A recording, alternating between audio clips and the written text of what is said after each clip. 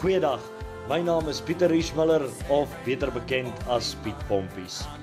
My nuwe album, My Harlekin, is nou in die handel beskikbaar by alle goeie musiekwinkels of by my vertonings. En daarmee wil ek sommer dankie sê vir al die ondersteuning deur die jare in my musiek.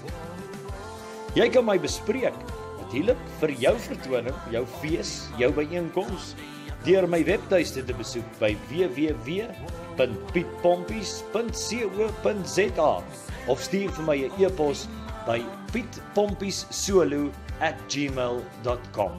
Ek sal graag 'n draai wil maak in jou dorp, by jou klub, by jou funksie, by jou golfdag en uh, jou kom vermaak.